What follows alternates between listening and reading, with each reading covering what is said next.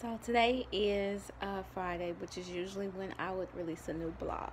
But in this season, I'm going to be back and forth between blogs and video blogs. So this is going to be the very first vlog, um, if we must say that I do. And hopefully by doing the vlog i can keep it shorter and sweeter uh, for those of you that like to watch and not read. And so um, one of the things i want to share with you guys is from joshua and it's a revelation that god gave me um, several probably months ago that i was supposed to share within the blog but in the crossing over in joshua when the children of israel began to cross over to their promised land. I want you to pay particular um, attention to the fact that, and I'll post the the the scripture references below because I like to give you guys the scripture references. Um, but I, I want you to take particular note to um, the fact that when they got ready to cross over, the presence of the Lord had to go before them.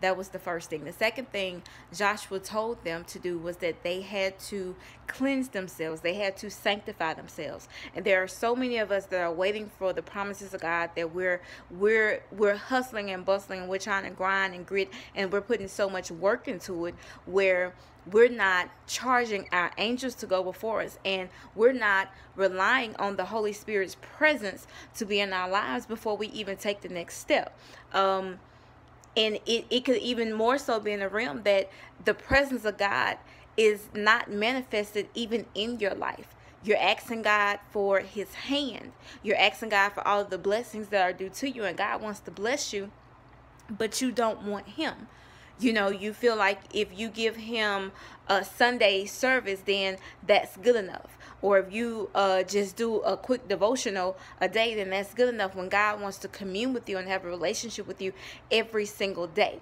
And so it's not so much as about what you do it's about what type of relationship are you willing to build for his presence to be before you. And I charge you to understand that success without the presence of God is likely the presence of the enemy over your life.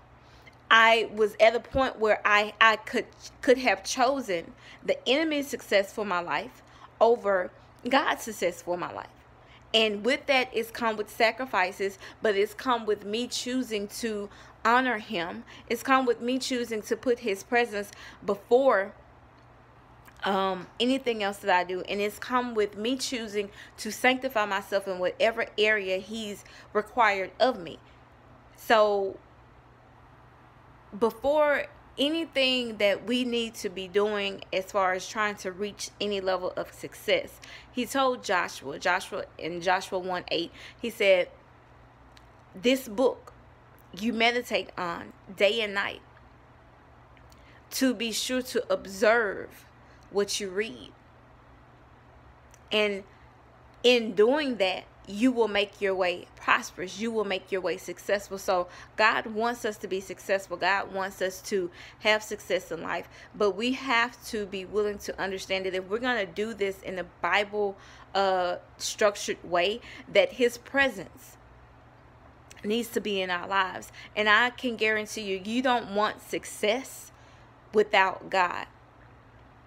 You don't want success without God. You don't want that. And then not only when you get that success, but having the heart to be able to allow God to use you with that success. And so um, that's just a real quick tidbit for today. Like I said, um, I could go so much further into it, and I'll post this on the the blog page as well.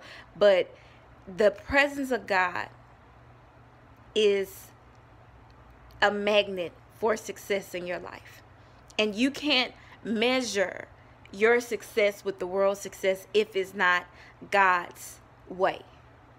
So, for instance, you know, uh, some people may tell you that it's, it's not good to give, but that's totally contradictory to what the scriptures say. So, you have to understand that pure success in the word, to be successful in the word, according to the word of God, you have to utilize the principles. And one of the key principles is not neglecting God's word, which is his presence.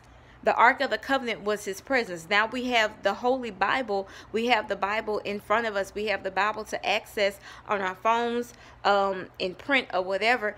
It's his presence. It's his very manifested presence that will speak to you and give you wisdom give you all types of witty ideas and and and allow you to make yourself successful so that he can establish his covenant on earth.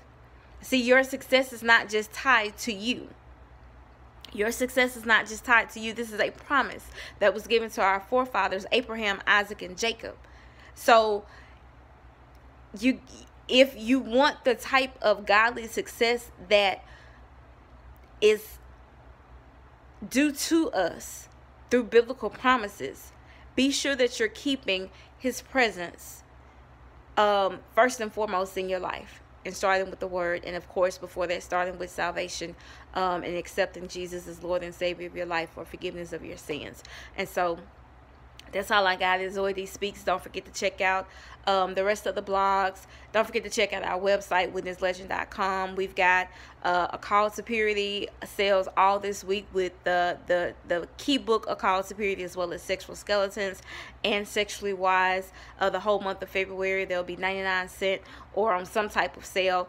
Um, and that's just pretty much gearing up for the new release, which is 40 Days to Freedom, which is a devotional journal um, from the A Call to Purity series. And so that's all I got. If I look a little rough, I'm sorry. I had to get this video done regardless of all that y'all give me a minute to get the the, the styling down um but anyway y'all have a good day it's been real Zoë Dee Speaks